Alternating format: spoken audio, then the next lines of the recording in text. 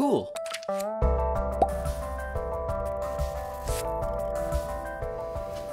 Hey everyone, how's it going? Devin here again with Make Anything. So every now and again, I like to talk about the sustainability of 3D printing. When you're making a real specialty part and it's just one of something, it's a good option. When you create something that helps you repair a part that would otherwise be trash, that's sustainable. If you need to make a thousand of something, well, 3D printing might not be the best option just yet. And also, when you're printing as much as me, you're inevitably gonna end up with a lot of scrap material. So this is just some of the wasted plastic I have right now. Things that I'm either just done with, or they didn't quite work out. And of course, a ton of failed prints. It happens. But today I'm gonna try to give some new life to all this junk and turn it into something cool. My plan is to crush this all up, melt it into a sheet, and then melt it into a bowl. It's another one of those experimental episodes, so whether or not this works out, I want to show you guys the process. Um, I think it'll be fun. So let's go ahead and smash. Alright, so before I can melt down this plastic into something useful, I have to crush it up and make it a little more consistent. That way when I melt it, everything melts a little more evenly. You know, it'll be cool to see the evidence of what these things used to be. Maybe just like part of a leg or part of the grill, maybe something will still show up in the final part. So I'm not gonna try to pulverize them into a powder, but I do need to break them up into smaller bits. And that's why I have this big hammer, a lead block, towel to cover it, and of course, my safety glasses. So let's go ahead and start smashing. So I'm just gonna take a towel here so bits don't fly everywhere.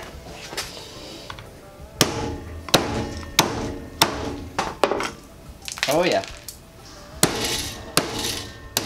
I also use some clippers to make sure everything is small enough, and then it's just a matter of smashing everything. This is definitely the stress relieving part of the process.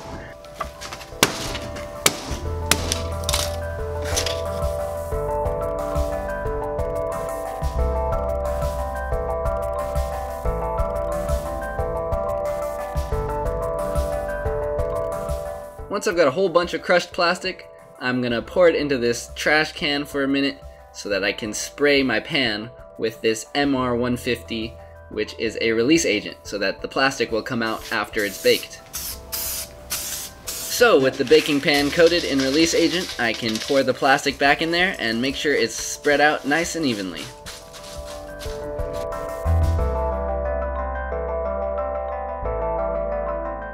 So now that I'm happy with that, I'm just gonna go ahead and throw it in my regular old oven.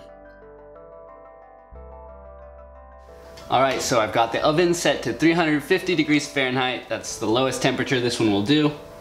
I've got my tray full of plastic in there. And um, I don't know how long I want to keep this in or anything, so I'm just going to keep a very close eye on this.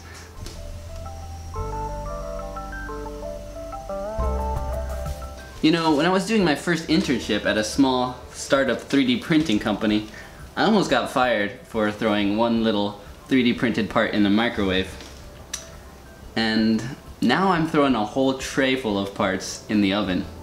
So, you know, that shows how much I've learned. 20 minutes in, the oven got to temperature and started melting the plastic. By 30 minutes, you could definitely see the things starting to merge together. By 45 minutes, everything was pretty much flattened out, and my kitchen was starting to smell a little bit, so I decided to call it, turn off my oven, and take out my plastic. Yeah, like I said, it did smell, so this is probably not the best thing to do in your kitchen oven, but for the sake of experimentation, I did it. And as you can see, the patterns that came out are super wild.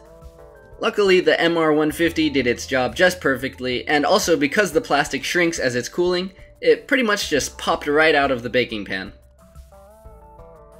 So now that I've got a flat sheet, I'm going to melt this plastic again over a bowl, and that'll hopefully turn the plastic into a bowl. So first, to get the sizing right, I traced out the diameter of my bowl onto the plastic using a Sharpie. Then I took it to my bandsaw and cut out the circles. And if you don't have shop tools like this, a handsaw will work just fine. It'll just take a lot longer.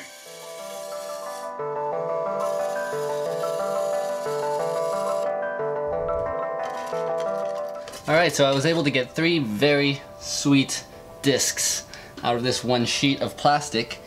And the idea is to melt those over this bowl to make nice little plastic bowls. Um, so I'm going to use this mold release again. It seemed to do the job really well before. Make sure this is nice and covered. And then I will just set this right on top and let it melt in the oven. See what comes out. So after another 40 minutes in the oven, the plastic definitely melted over the bowl, but it looked a lot messier than I was hoping for.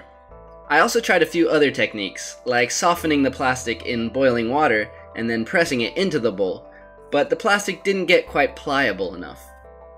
I also experimented with melting the plastic onto the inside of the bowl, and it was another half successful result. So I couldn't help myself. I made a second batch because the first one turned out so cool. You know, I thought it was okay, but the other side I think is super cool. There's this section here where I pushed down from the top while it was cooling and it caused all the plastic to spread out and make a really cool pattern. So this one, I think I'm gonna have to just keep it as a giant piece. Um, I'm probably just gonna trim the edges and hang this up or something. Alright, so I sanded out the edges of this and cleaned it up a little. The bowls were semi-successful. I mean, they show the potential there. These two didn't come out perfectly or anything. But I think if you had a two-part mold pressing on the plastic from both sides, you would definitely get some impressive results. So basically, I've just ended up with a couple material samples. They're not actually useful things yet, unless you make it into a coaster or a placemat, you know, everything can be a coaster. but for now, I'm gonna stop here and let myself get some inspiration over the next weeks. And by the time I have a bunch of junk built up again, I'll be able to make something really cool. I'm thinking if I made a nice thick sheet of this plastic, I could make a really sweet little skateboard. So that's kind of my current goal. Oh, and I've also got these parts that dripped, and they look super cool actually. They look like little artificial gemstones. Super colorful and awesome. So hey, I guess there's some jewelry applications there as well. The way light shines through them is really cool too, so you can make a lampshade or just some kind of light cover. What we do know now is that you can in fact recycle the plastic that you used with your 3D printer and give it a second life. But anyways, I'd love to hear any suggestions you guys have. What should I make out of all this? Who knows, maybe I'll love your idea and it'll show up in one of my next episodes. Until then, I'm Devin. This is Make Anything. Stay inspired. Thank you.